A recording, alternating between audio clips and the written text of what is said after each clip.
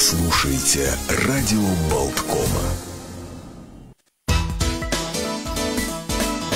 Утро на Болткоме. Ну и как мы уже анонсировали, намекали, прогнозировали, мы поговорим сейчас о путешествиях, об отдыхе, о том, что летом ждут все, и так надеяться на то, что это лето будет совсем другим, нежели прошлогоднее лето. Константин Польгов, глава Антестур Латвия, с нами на прямой связи. Здравствуйте, доброе утро, Константин. Доброе утро, доброе утро. Здравствуйте. Что происходит Доброе. сейчас э, вот среди туроператоров? Какие направления возможны, открыты? Что э, ждать нам в ближайшие месяцы? Нас интересуют, на самое... самом деле, все да, подробности. Да, да. Кого пускаете на борт? Там э, справки, QR-коды, прививки, самые популярные направления. И, в конце концов, правда ли, что э, трехчасовые очереди в Рижском аэропорту стоят? Да, с этого хотелось начать. Во-первых, настроение в индустрии совершенно другое. Оно просто, я бы сказал, просто забытое настроение. Э, очень позитивное. Э, скорее, слава богу, все восстановилось ну, практически в полном объеме. Действительно, как вы заметили, очереди в Рижском аэропорту перед э, первыми выходными днями – были просто сумасшедшие. Думаю, что аэропорт забыл, и туристы забыли. Те, кто были в аэропорту, может быть, неделю назад и приехали перед праздниками, совершенно не узнали аэропорт. Это длиннющие очереди на регистрацию, это локоть в локоть, практически нужно было стоять. А и, как же два метра? Э, достаточно. А вакцинированные? Здесь про это не говорим, говорим про позитив. Там, Мы говорим про вакцинированных. все происходит. Да. Люди следят за тем, чтобы все было хорошо. Конечно, есть ограничения. В первую очередь это касается тех, э, э, кто путешествует сейчас, главная их возможность заключается в том, что они получили прививку, э, закончили курс, вернее, прививок, имеют подтверждение, QR-код, который выдается сейчас как сертификат в электронном виде, конечно, очень подоспел к нашим праздникам, и огромное количество людей на праздники вылетело. Вы наверняка можете это видеть по пустым дорогам. Угу.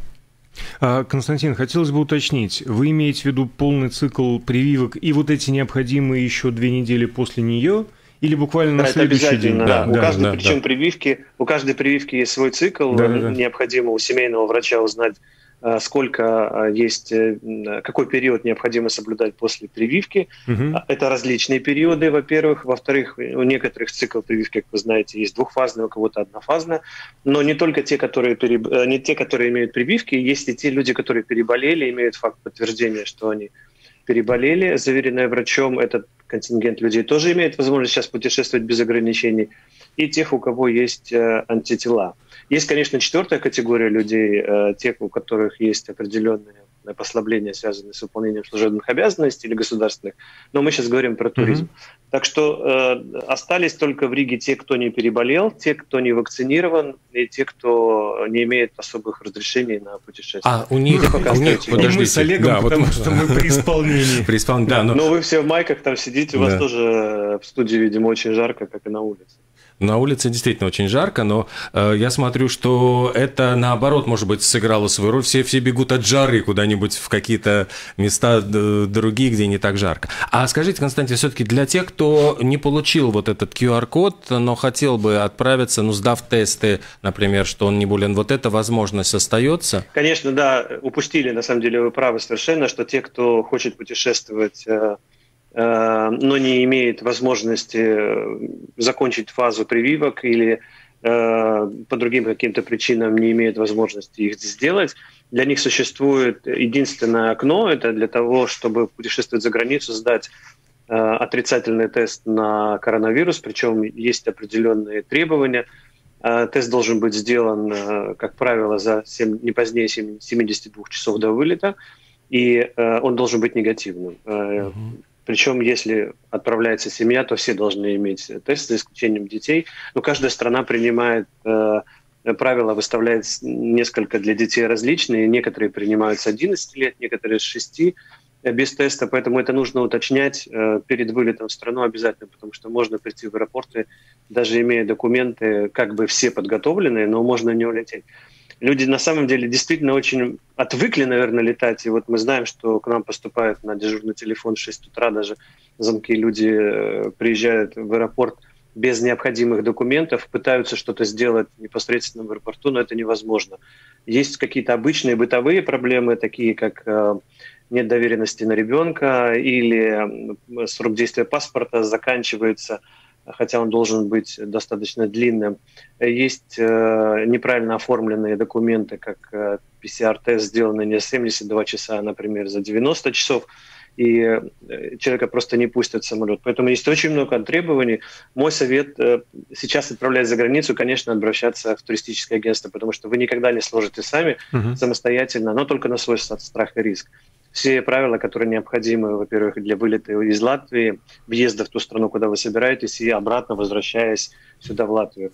Э, пользуясь случаем, хочу сказать, что возвращаясь в Латвию, обязательно нужно заполнять электронный COVID-пасс – и информировать о том, э, какие у вас есть э, прививки, или у вас есть тест, или вы следуете по государственным делам для того, чтобы при въезде в страну у вас не возникло никаких проблем. Ну, то есть можно сказать, что нет худа без добра, то есть для туристического, для туристических агентств сейчас, в принципе, ну, несмотря на всю сложную ситуацию, повысилась их роль потому что туризм на свой страх и риск – это просто игра в русскую рулетку, получается. Это, это то, что то, чем мы пытаемся говорить, конечно, есть очень много возможностей путешествовать самостоятельно. Люди вполне могут забронировать билет на самолет, гостиницу. В этом нет никакой проблемы, тем более у молодого поколения, у среднего поколения никаких проблем нет. Проблема лишь в том, что наличие информации э, нет такого общего банка информации, чтобы вот вы сегодня на сегодня посмотрели и, и э, получили полную информацию по всем критериям, которые касаются Э, страны, куда вы прилетаете, страны, куда вы возвращаетесь, какие вам необходимы документы на данный момент, чтобы перепроверить, все ваши документы готовы они или нет.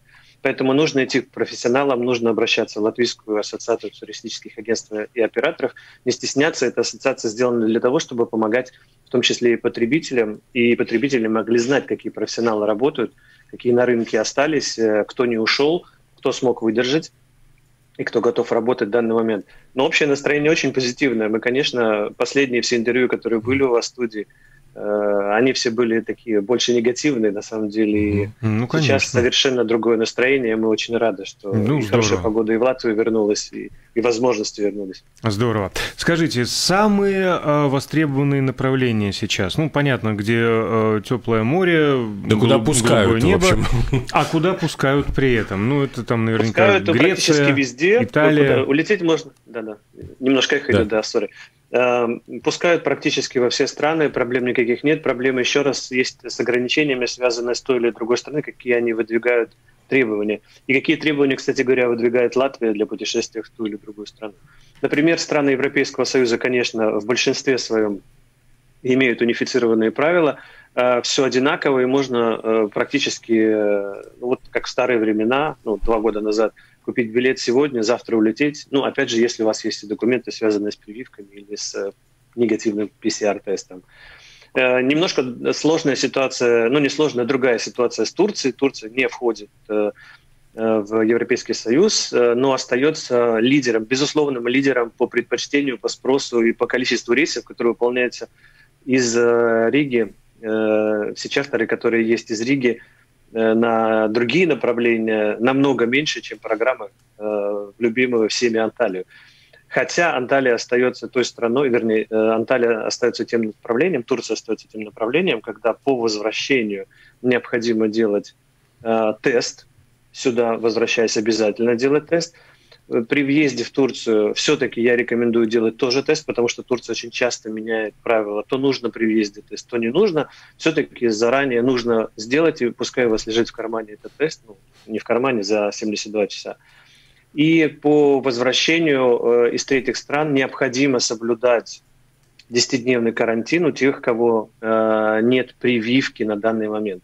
Эти правила меняются, и они могут быть э, уточнены практически ежедневно – но, тем не менее, Турция при всей сложности такой остается самым главным направлением, и количество рейсов может доходить до 7 рейсов в неделю, если брать весь рынок. Это очень большой объем, это практически объем 2019 э, года, это правда, uh-huh. несмотря на все сложности, которые есть. Я думаю, что первое место за Турцией так и останется. Греция на втором месте, э, в этом году намного больше, э, хотя традиционно Греция всегда была на втором месте. Ну и дальше уже Болгария, Испания и так далее, Хорватия – все уже имеют своих туристов, но в значительно меньшей пропорции. А есть какие-то страны, которые требуют э, проведения теста, ну, какой-то свежий тест через несколько дней по прибытии, там, на второй, на третий? Да, есть э, нюансы, связанные, если вдруг все-таки человек заболевает э, на курорте, и э, там есть определенные нюансы, которые тоже турист, наверное, перед вылетом, ну, как минимум, должен знать, но лучше всего он это узнает или обратившись самостоятельно в источник, первоисточник Министерства здравоохранения той страны, куда он путешествует, он будет знать, что произойдет, если он заболеет э, в той или другой стране. Этой информацией всей владеет, э, как я сказал, туристический агент или туроператор, который отправляет туристов. И вот там могут быть нюансы. Если турист заболевает на курорте, он должен остаться до полного выздоровления э, в той стране, где он находится и его примут на посадку самолет только тогда, когда будет подтверждено медицинскими работниками, что он не э, заразен, и то, что у него есть необходимые документы, подтверждающие, что он не представляет собой медицинскую угрозу для других пассажиров. То есть ему нужно полностью выздороветь. И вот находясь в разных странах, есть разное обеспечение, э, медицинское обеспечение для туристов, которые заразились коронавирусом в стране пребывания.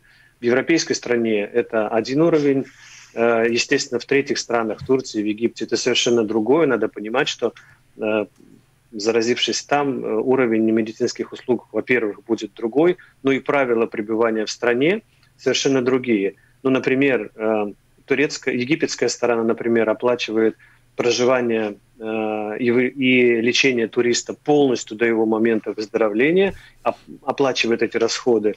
Турции немножко другая ситуация. Турция предоставляет две недели для того, чтобы турист поправился и дальше или вступает в страховой полис, э, покрывает эти расходы, или турист должен самостоятельно оплачивать все расходы, связанные с пребыванием в медицинском учреждении. То есть нюансов много в эфире, это угу. тяжело рассказать, поэтому нужно в каждой отдельной ситуации иметь эту информацию, приходить э, и говорить с теми людьми, которые обладают ну, всем всем багажом, все, что сегодня доступно Э, у профессионалов туристического бизнеса. Напомню, мы беседуем с Константином Польговым, руководителем ТС-тур Латвия. Да, ну и я понимаю, что самое последнее дело, наверное, делать какие-то прогнозы сейчас вот в нашей ситуации, но тем не менее, вот а сохранится ли, вот как вы планируете такой вот бум, интерес, ну то есть вот тоска по этим всем путешествиям э, на протяжении лета, и вот уж строите ли вы планы на осень, как это все происходит? Самое главное, что нужно было дождаться того момента, когда действительно действительно этот бум настанет, нужно было выдерживать, потихоньку начинать разгоняться, и количество рейсов, которые сейчас э, выставляют туроператоры э, на разные курорты, они достаточно большие, большие по объему.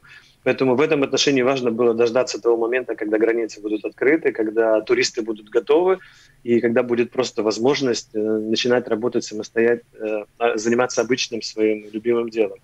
В этом отношении, э, конечно, мы будем готовы добавлять, если это будет необходимо. Авиакомпании соскучились, и пилоты соскучились по своей работе, поэтому возможности добавлять есть. Единственное, что нужно понимать, что не нужно ждать никаких специальных цен, которые есть там перед вылетом или какие-то супер низкие цены. В основном это складывается из двух составных. Это первое авиаперевозчик, и второе это гостиница, куда вы едете. Гостиницы во многом, э, некоторые еще даже не открылись, поэтому они не занимаются тем, что продают свои номера на 70% дешевле. Им проще не открыться. И они открываются сейчас, ближе уже к июлю. Это касается многих отелей э, Средиземноморья, во всех странах, кстати говоря. Поэтому э, в основном э, нужно будет биться за то, чтобы э, были количество номеров в этих гостиницах. Вся Европа сейчас э, получает ковид-паспорта, и Средиземноморье – это их любимое направление. Поэтому вот в ближайшие 2-3 недели – будет оглушительный вал путешествий, который будет связан с европейским рынком. Я не знаю, как на других среднеазиатских или американском рынке, но в Европе это будет настоящий бум. Это традиционно, и к сентябрю-октябрю, если вы заранее это ничего не сделаете, то тут могут быть нюансы, придется остаться дома. Так что э, главный совет все-таки запланировать свой отпуск заранее, посмотреть. Платить, как правило, ничего вперед не нужно, нужно просто забронировать свое путешествие, mm. понять, какие даты, и сделать необходимые или прививки, ага. или тесты. А главное, где... чтобы ситуация оставалась еще ну, настолько ну, да, позитивной. Вот вот заранее, да, скрестили, скрестили, скрестили, господи, как это слово скрестили называется? Пальцы. Скрестили пальцы, сжали кулаки, скрестили, да. свели скулы, сидим, ждем. А лучше всего все-таки забронировать э, через интернет или э, придя в офис? Работают ли офисы вот туристических э, компаний? Э, ну, вот... ну, большие, да. большие давно уже открылись, они такие локомотивы, они пытаются показать в том числе Э, ну так, вербально показать, что отрасль жива, и, может быть, мы открылись уже практически два месяца назад, когда еще была тишина, для того, чтобы, ну, нам нужно было это сделать заранее, чтобы подготовить э, программы и так далее, это не делается за один день. Но маленькие компании, которые работают, их около 300 в Латвии, они потихоньку открываются, и мы видим по количеству бронирований, которые есть, э, очень много идут заявок именно от профессиональных агентств, которые работают, которые общаются с клиентом.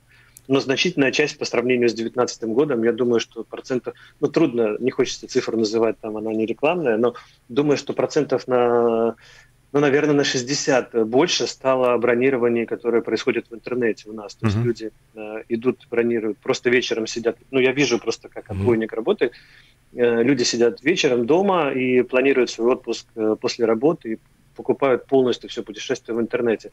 Это просто подтверждает то, что невозможно было оставаться в классической модели и работать только с ну, так, офлайновым бизнесом, что называется, с классическим бизнесом, с туристическими агентствами. Но люди готовы сидеть в интернете, сами выбирать, сами выбирают, сами спрашивают, Э, между, наверное, в семье, куда поехать, и делают бронирование, и сразу же подтверждают, и сразу же некоторые оплачивают. То есть это подтверждает, ну, наверное, да. только то, что есть совершенно различный сегмент, Э, который будет меняться в 2021 году, это только увеличится на следующие несколько сезонов. Ну, хотя, хотя вот кажется, что просто в офисе, ну, если ты беседуешь с работником, он может что-то посоветовать, если... Конечно, средний, да, там да какие-то... Олег, совершенно верно. Средний чек путешествия угу. достаточно высокий, и если семья путешествует, как минимум, там, из двух, из трех человек, это больше тысячи евро, и люди хотят видеть, кому они отдают деньги, угу. и хотят Э, знать детальную информацию, которую в интернете невозможно получить. В интернете вы не все сможете получить ну, за несколько часов, даже если вы не знаете источников, куда обращаться, вот, в том числе для того, чтобы понять, какие правила есть в странах, куда вы собираетесь поехать. Ну и вы, приходя в агентство... Чат-боты, да. но ну, ну, все равно... Да. Чат-боты, ну вы общались с каждым, наверное, в чат-боте, там они пишут, что даже «Добрый вечер, я не машина, задавая вопросы», дальше там все идет по структурировано по тем ответам, которые да, ты да, задаешь, да, да. и там машинка отвечает. Поэтому Но я себе так это немножко и, не то. И представляю да. эту ситуацию. Вот Константин говорит, что много спонтанных таких покупок. После работы вечером приходишь, ну, и такой, все. И с чат-ботом. Я должен, должен куда-то полететь, я должен отдохнуть. Чат-бот. Нет, завтра пойду в офис куплю. Нет, ну вот как раз мы говорим о том, что в офисе действительно есть возможность какого-то человеческого общения, и просто ну, у людей может возникнуть куча вопросов, э, на которые, вот, ну, которые, ну, может быть, чат-бот не, не прописано. А это, это очень хорошо, это, да, да, Олег, куча должна возникать. Да, да. Да, да, подтвержу, что нужно идти в туристическое агентство и не стесняйтесь заплатить агентствам. Ну, большие, мы-то справимся на самом деле, потому что у нас э, немножко другая специфика. Маленькое агентство, оно работает для того, в городе, для того, чтобы обслужить частного клиента, прийти, рассказать ему рассказать о нюансах и быть проводником его на все две недели или там следующее время, когда он собирается путешествовать. Не стесняйтесь обращаться, это так же, как доктор. Не стесняйтесь заплатить агентству за его работу, потому что все думают, что если вы приходите в агентство, просто с ним поговорите, не заплатив э, хотя бы минимальную сумму 5 или 10 евро за консультацию, вы встаете и уходите, это не совсем корректно. Это так же, как, может быть, не оставить чаевые в ресторане. Но я не хочу сравнивать здесь, угу. но это такой же труд, э, и в основном это маленькие агентства, семейный бизнес, бизнес, и они нуждаются после такой длительной остановки mm-hmm. для того, чтобы вы приходили и получали работу, э, сделанную профессиональными людьми. А, что касается туроператорского бизнеса, конечно, на, на рынке появляются новые игроки. Игроки предлагают, к сожалению, в основном те же самые направления, поэтому у клиентов, с одной стороны, будет больше выбор, но, с другой стороны, нужно очень внимательно оценивать, чтобы не было так, когда на послекризисное время многие не выдерживали, уходили с рынка, но это тема другого разговора. Константин, у нас остается буквально минута. А скажите, насколько актуальны страхования путешествий? Очень важно, да. Очень правильно заметили. Не вздумайте отправляться в путешествие без страховки. у каждого из э, работающего человека, кто имеет кредитную карточку, знают, что банки предлагают страховки, но необходимо проверить, что именно э, предлагают банки в данный момент и какой уровень страхования, в частности от ковида, вложены в эти страховые полисы. Э, Мое мнение, не вздумайте просто не вздумайте сесть в самолет без страховки, не вздумайте пересечь границу без страхового полиса, не убедившись, что туда входят очень многие позиции, связанные с отменой рейса, задержкой рейса, внезапным заболеванием, в том числе ковид. Кто покрывает расходы, связанные с ковидом? Кто покрывает расходы, связанные с возвращением вашей народи, с вашего народа, ваш, вас на родину? Кто покрывает расходы, связанные с нахождением вместе с вами членов вашей семьи, потому что вы останетесь за границей один, или останется с вами семья, кто будет платить за проживание семьи, если вдруг член семьи заболеет. Очень много вопросов, поэтому эта информация, кстати говоря, тоже есть в каждом туристическом агентстве. Mm-hmm. Ну, если не хотите, тогда нужно идти в страховую компанию, которых много в Латвии, но у всех совершенно разные покрытия, и думаю, что есть, ну, наверное, в целях рекламы не могу назвать кто, но есть компании, которые предлагают полный спектр. Зайдите в любое турагентство, вам все расскажут. И там расскажут. Угу. Огромное спасибо, спасибо большое. Константину Польгову, руководителю Тест-тур Латвия. Главные выводы сфера туризма ожила, а настроение давно забытое, почти все восстановилось, по ощущениям вернулись, ну, хотя бы в 19 год, а хотя 19 год, в общем-то, это и было все хорошо. А подробности через несколько часов на портале Mix News LV. Ну и, в общем-то, да, пора готовиться к путешествию. Мы отправляемся в недолгое, буквально пешее путешествие в паузу, после которой новый час, новые гости. Слушайте радио Болткома.